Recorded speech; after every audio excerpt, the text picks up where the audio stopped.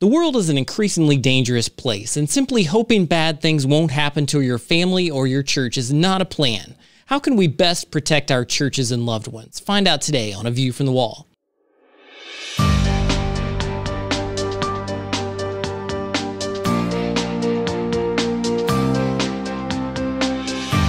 Join I Am a Watchman Ministries managing editor Joe Kerr with co host Dylan Burrows bringing you a fascinating discussion regarding the importance of Bible prophecy and Christian living today as it relates to our responsibility as believers to be watchmen. This is A View from the Wall.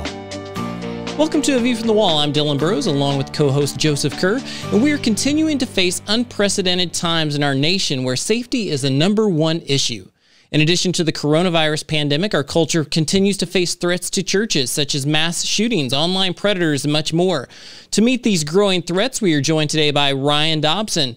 While many of you may be familiar with him as the son of Dr. James Dobson, Ryan serves as CEO of Rebel Parenting and is the host of Home Safe, a church based training seminar empowering parents with the strategies and tools to protect their families at church, school, public places, and at home. Ryan, welcome to A View from the Wall. Hey, thanks for having me. I really appreciate it. Well, great. Let's dive right in today with you here, Ryan. Like others, your work has been helping address ways to handle the stay at home situations many are facing now. What are some of the areas you have shared to help as you've been talking with people lately? Um, you know, there's so much we can talk about. First and foremost, honestly, is grace. This is unprecedented. Nobody has dealt with something like this. Uh, it's brand new. There's so much turmoil, so much change and we're not used to being around our spouses 24 hours a day. We're not used to being around our kids 24 hours a day. We're right. not used to working from home uh, with our spouse and our kids 24 hours a day. And we're all up in each other's hair. And I say, first and foremost, give each other as much grace as possible. That is a good way to put it. I heard your podcast, Ryan, on the 30th of March addressing that. And you had some great one liners of people finding out what their work spouse is like now that they're both at home. Hit a few of those one liners. Those were fabulous. Oh, yeah. Uh, I didn't know I was married to the let's table that and revisit this later. In our in the 36 years we've been married, we've never tabled anything and revisited anything at a later time. Or uh, I found out that my wife's been using personnel management skills on me all the time after I heard her do it with her employees. Uh, I now know my husband has a work voice. Uh, my spouse makes small talk, just not with anybody we know, only with his coworkers. They're hilarious, and it's true. People don't know who their spouses are at work. Isn't that amazing that you can spend so much time with your spouse and yet they're a completely different person in their workplace? And now we're discovering more of that than ever before as we work at home, many in these quarantine situations. So it's fascinating and frustrating sometimes. And like you said, we need a lot of grace. But as in your work, you work with Rebel Parenting. Uh, tell us a little bit about what that even is, help people understand what your goal is with that and how that can help them today. Sure. Yeah. My wife and I founded Rebel Parenting just over three years ago. Uh, we do a podcast three times a week, um, all marriage, all parenting, all the time. You know, I think each generation parents differently and they've got new challenges, new struggles, uh, new things to deal with. And we're trying to address those on a regular basis and just get, you know, it's totally unlike anything before. If you've got high school kids, uh, your kids are competing against parents that get professional writers writing their college essays. And how do you deal with that right. being a regular family? And should your child go to college or not? Is it still delivering on the promise that it once did of if you go to college, you'll definitely get a better job and you'll make more money and you'll be more satisfied? I mean, there's so many changes today. And I mean, in every aspect of life, in marriage and in parenting, from early childhood into adulthood. There's so many changes that we try to address on a regular basis. Let's take that for a second because you talked briefly about all of the families being at home. And of course, part of that is school children being at home. Yeah. Uh, my daughter is homeschooling her five kids at, in New York, oh. and uh, other people are homeschooling kids that, well, they just never had that experience before we homeschooled yeah. our kids. But that was a long time ago. A lot of these folks who are dealing with that for the very first time because of the virus, they're suddenly homeschooling and they've don't really have a reference point for that. Any advice for them? Yes, definitely. And I'm going to give you a real controversial, unpopular opinion, and that is don't take it too seriously. We're going to go to back to school in the fall, and I just don't believe most people are going to work. You know, I got a kid in the seventh grade and I got a kid in the first grade. No one's going to ask what their grades were during the pandemic. We got about six weeks left. I say, do the best you can. Don't go overboard. We were given, in my estimation, I love our school. I love our teachers. I think they do a great job. I think they're trying to do too much online.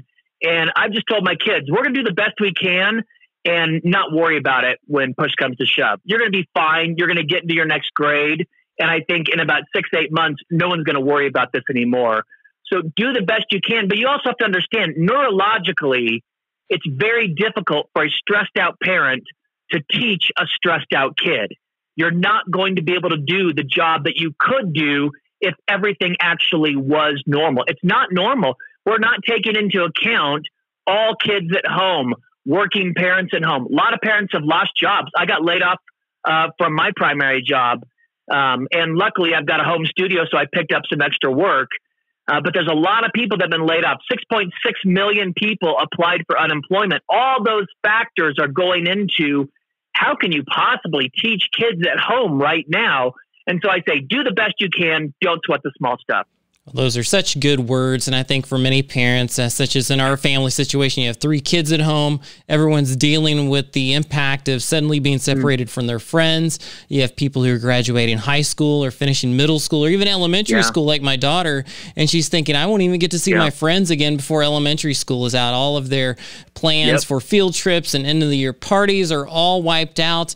And mm. yet here they are stuck in front of a screen saying, do your assignment for today. So one of the best things we can do is be there to encourage, to support, and let them know that it's going to be better down the road. It's this is not going to be how it is for the rest of your life. So those are great words. You know, and that's so oh. important. Oh. You brought up some really good, important things in there. Think about all the seniors that had prom and had graduation and all these things they're not going to get to experience. You have to take into account the emotional impact that has on kids. The fact that they can't play with their friends. We have 10 children in my cul-de-sac. 10 we live next door to lots and lots and lots of kids. They can't play with each other. They see yes. each other, you know, over the fence. It's so crazy watching my eight year old talk to her best friend over the fence while jumping on trampolines. Goodness. You know, there is an emotional toll being taken on our kids, and you've got to bring that into account. You're gonna, my family is so sick of me telling them to be quiet while I do radio interviews and while I do recordings in my studio. And it's just this weird interim period where they're not gone and we're all on top of each other. And I still have to have a really quiet space in the house to do recordings. And so that emotional impact, that emotional toll, take that into account. You're going to get more attitude, more blowups, more tears, more frustration, all those things. And as a parent, just realize, man, their world has been turned upside down and that's why I say don't sweat the small stuff. Just do the best you can. Just do the best you can and get through this. Well, these are some great words from Ryan Dobson. We'll be back right after this break with more on A View from the Wall.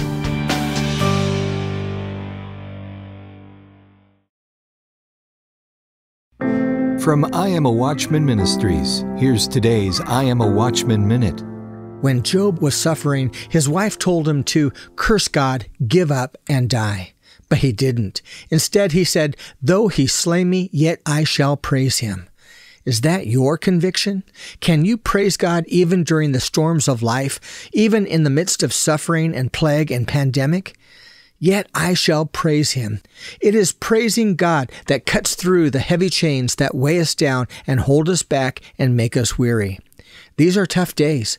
Watchmen have the opportunity and responsibility to lead in praising God and persevering and helping others overcome.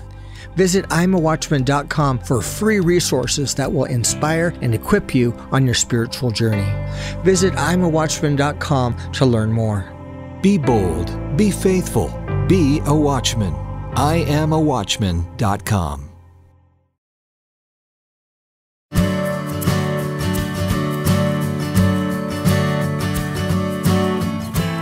Welcome back to A View from the Wall. I'm Dylan Burrows along with Joseph Kerr, we've been talking with Ryan Dobson. We want to talk in this segment about HomeSafe. HomeSafe is a church based training seminar that empowers parents with the strategies and tools to protect their families at church, at school, in public places, and at home. For example, there have been more mass shootings, home break ins, online predators, even natural disasters, and more. So, we want to talk today with Ryan about how his organization and how his work is doing something to help. So, Ryan, get us started. Tell us a little bit about HomeSafe. Oh, Dylan, I appreciate it. Thanks, Joe, for having me on to talk about this stuff. We live in an unprecedented time. Uh, I'm a gun person. I've got a concealed carry permit. I've been hunting and shooting since I was really little. I mean, really, really little. My dad had me shooting a gun, understanding gun safety, and that last shooting in uh, White Settlement, Texas, really was the prime example on why we do home safe. And you can't blame the congregation of the church members. What you can do is point out what happened that went well and what happened that went poorly. What went well is they had a very amazingly trained church security force that took out a gunman in six seconds. Six seconds. The things that went poorly, three people died in the process. And at the end of six seconds, no one in the church, bar security, had moved. And it's because no one had been trained. We train people. What do you do if a shooting breaks out? What do you do? How do you gauge whether you're in a dangerous situation or not? There were interviews after that church shooting where people were like, we knew something was going to happen. We just could tell something was going to happen. And I'm like, if you could tell something was going to happen, why not move your family? Your children exactly. saw three people die in front of them and they didn't have to. You don't hear politicians, newscasters, or talk show hosts talk about what do you do in an active shooter situation. They all want to talk about tightening or loosening gun control laws, but not telling families what to do. We tell children what to do. We've got active shooter uh, drills uh, in schools and in major corporations, but we're not telling the family how to protect themselves from home invasions, from child predators, from online porn, from active shooters, you know, disasters like we're having right now in this pandemic. Who was prepared before this and who is now thinking, man, if this happens again, I better be prepared? This home safe program i really like the way that you've presented it and there is so much in there but just from somebody who's done active shooter trading before and been involved in some of these things myself yeah. Um, this is from what i've seen this is far more than just the talks you have with your kids just you know stay away from bad people. You offer some real life training and techniques that any family can apply. What are a few of those that people can begin applying right now and, and create those safety habits? Oh for sure. Listen i know we're all on home quarantine right now but here's what we know. When they lift the quarantine we are going to be out in mass. We're going to be out in public. We're going to be out at parks. We're going to be out at amusement parks. We're going to be at concerts. We're going to be all over. We're going to be so thrilled to be out of the house that we're going to be everywhere. Everyone carries a cell phone and you've got a camera on it. If you're going to go to a public place with your children, before you go in, take a full body picture of them. If they go missing, you can go, This is what my child looks like right now. This is what they're wearing today. Take particularly uh, close interest to your kids' shoes. Um, what we do know from all the studies is at times, people that abduct children have different clothes for them to wear. Virtually never do they have new shoes for them to wear. So take a picture of your kid's shoes. It sounds silly until your kid goes missing and you're like, what were they wearing? This is exactly what my child looks like right now. Uh, and then here's the big one. Joe, Dylan, here's the big one. We try not to use the word child predator because people assume they know what a child predator looks like, and you don't.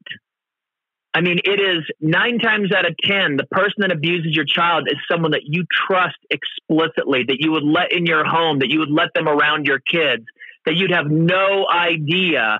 And you've got to take totally different precautions to protect your children from predators.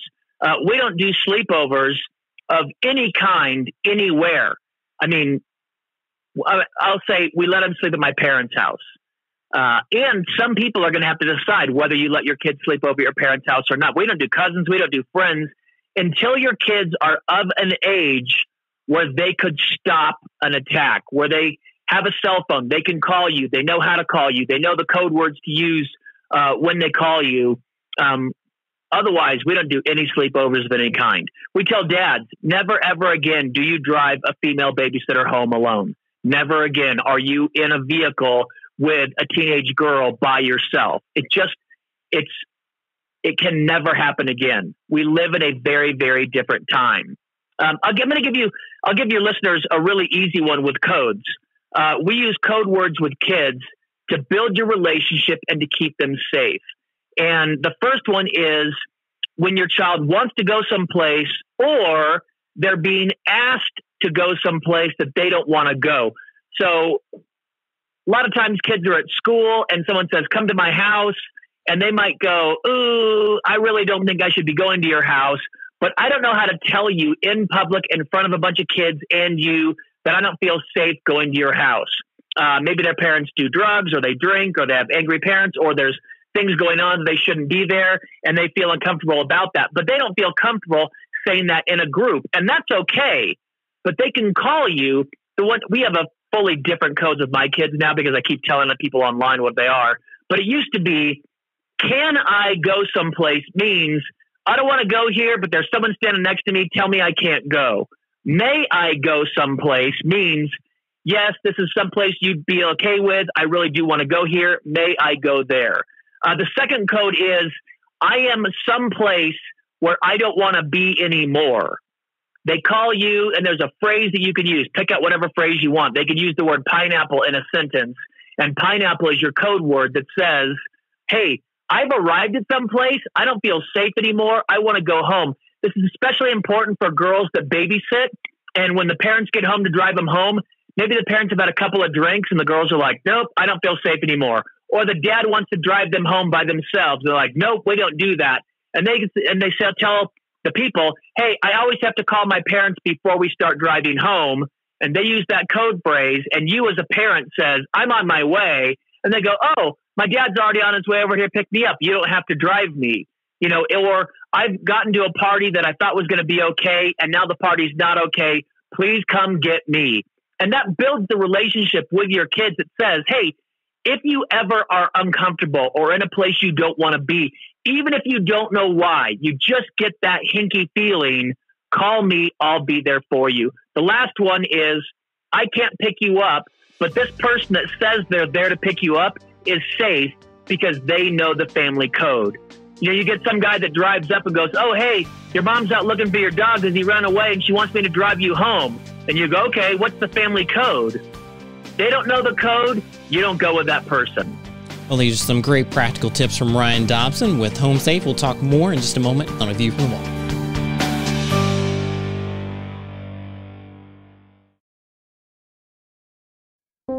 A View from the Wall comes from I Am a Watchman Ministries, established to help individuals know the love of Jesus, enter into a relationship with Jesus, live for Jesus, tell others about Jesus, and prepare for the imminent return of Jesus. We want to inspire the body to live a life of meaning and purpose.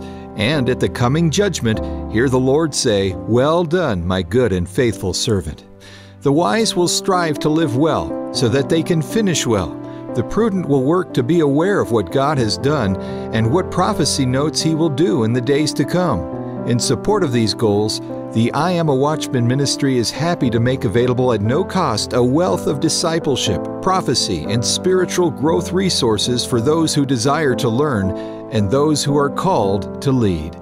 Find out more by visiting our website, iamawatchman.com. That's iamawatchman.com.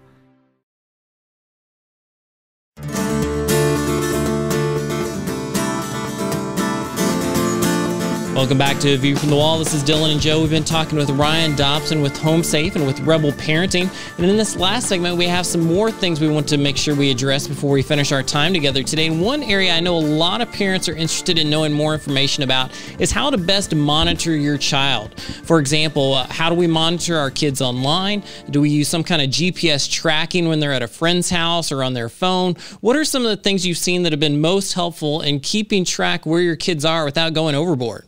Totally. Well, first and foremost, you know, so my son's 13 and he's had a cell phone now for like three months. So I'm having to put into practice all the things I've been saying in theory. And the first one we did was a cell phone contract. Right. It just says, hey, here's the expectations we have if you have a cell phone. You can just look one of those up online. We're going to come out with one at, at uh, Rebel Parenting, but you can just look up cell phone contract, and I mean, you're going to get a whole list of them on Google. Uh, but a cell phone contract says, this is what we're expecting of you. Um, and that's no hidden apps, no private apps, that we have access to everything and anything we want at any moment's notice. Um, and so, like, my son's got an Instagram account, but not a TikTok account. Uh, and the Instagram account is under our account, so I can look at it whenever I want. If anything shit, by the way, there's people that follow me, adults that follow me, that then started following Lincoln, and we blocked all of them. I don't know you, man you might be a totally harmless person, but you're like a 60, a 55 year old person following my 13 year old. That's super weird. Exactly. Like, how would you feel if I was following your 13 year old daughter? Like, you'd be like, what? What's up with that? Like, just so yes. weird. Like, I get it. They're fans. No big deal. But you shouldn't be following my 13 year old. So creepy. So I just go and block those people. And Lincoln's fine with it. Like, people follow him and he's like, I don't know how to figure out how to block that person. And I'm like, oh, dad can fully do that for you. So the first and foremost, cell phone contract. Um, the one we use, the big one we use, the two main filtering devices we use. One is called Circle or Circle Home Plus, um, and that has a million great features. And here's what I can tell you: I use it at home. It doesn't throttle your internet. Uh, if it did, I wouldn't use it. I just can't stand slow internet. It drives me crazy. We're a gamer family. If it's throttling or bottlenecking our internet, it won't be used in our home. So, uh, Circle Home Plus is a good one, and it will tell you by device what apps people have been looking at and for how long. So, if you've got a rule that they can be on Snapchat, you know, 20 minutes a day and you look at it and it's like they've been on for an hour and a half and you're like, hey, how long you been on Snapchat today? Like, oh, like 20 minutes. Then it just gives you an honest right. conversation to have. You can set time limits on apps and the best one, and here's the truth the only person that uses it is me, and it's setting bedtimes for the internet. I forget what time it is because I've got a home studio mm-hmm. and a home office and I work all the time and it'll be like 9.30 and all of a sudden i can't send an email and i'm like why can't i send an email? And i look and it's like oh it's too late for me to be on the internet. I should be in bed now. And so it shuts the internet off at a certain time. And for and that one filters pornography too does a pretty good job of that. The best pornography filtering software available is from covenant eyes. Covenanteyes.com code word rebel get you a free month uh, we used it before they sponsored the podcast but hands down, it's the best filtering software available. That is some great information, Ryan. Again, practical, practical things. We try to wrap every broadcast with a very practical message to the watchmen and women who listen to this program, folks who see and interpret daily events in light of Bible prophecy. Yeah. And we'd like you to give a word of encouragement and challenge to that group, those who watch, warn, witness, and seek to finish well in these last days. And in whether they're parents or not, Speak a word of encouragement into that group. Jeff, that one, you're doing a great job. I mean, honestly, the people that are looking for signs and looking at the times and understanding what it means and doing their best to be prepared, awesome, awesome job. Don't get paranoid, but be prepared. Prepared is a great thing. When the H1N1 virus hit, I bought N95 masks. Guess what? Who's got N95 masks now? I do. They were gathering dust in my garage, but we need them now and uh, we've been able to donate some and use some for our family. So those that are prepared, be prepared. I wouldn't make a billboard of it, but I would secretly be prepared for events. You know, gather a little extra and do so with a joyous heart, so that when hard times come, you can help out those around you. Like we had an extra stock of toilet paper, so when there was a run on it, we could give it away to friends it's the greatest time. I think we're going to look back at this time and go, who was there and who was helpful and who was making a money grab. You know, you've got the Kennedy Center that got a $25 million grant in the stimulus package, and three days later they fired all their employees. Or you've got Mark Cuban, of the Dallas Mavericks that's paying every single hourly employee, the concessions people, the cleaning people, the parking people, everyone as if business was usual out of his own pocket. We should remember that. And as watchmen and watchwomen, you can also be that positive force for good in times of turmoil and comforting those around you and telling them to look to the Lord and in donating and giving out the excess that you've created and collected over the years. That is such a good thought. That idea that how you act now is going to be remembered for years to come. How are people going to look mm-hmm. at you if you're out there listening today and you're thinking, what am I doing to make the most of this opportunity? Not just a problem that exists, but this time that God has given us. Ryan has given us some great tips, some great suggestions. If you'd like to find out more about Ryan and his work, where can people go and find out some more information? Uh, rebelparenting.org and homesafeseminar.com. Rebel Parenting Podcast on iTunes, Spotify, wherever podcasts are found three times a week. Great. Well, Ryan, we appreciate you being with us. And for those who are listening, we are going to put the information for the links he mentioned with Covenant Eyes. That'll be down where you uh, receive the podcast as well as Circle Home Plus. So make sure to check that out and, and, pick that up if that applies to your family situation. We thank you for being with us here on A View from the Wall and look forward to being with you next time. A View from the Wall, in association with I Am a Watchman Ministries, exists to equip a worldwide audience with biblical truth, sharing it with others, and being prepared for Christ's imminent return. The team seeks to encourage, inspire, and equip watchmen for such a time as this. For information about the ministry and upcoming events, visit iamawatchman.com. A View from the Wall is made possible by the team of dedicated pastors, editors, and the many contributors of I Am a Watchman Ministries. To support our efforts, give online at iamawatchman.com and click on the donate button. Thanks for listening and join us again next time on A View from the Wall.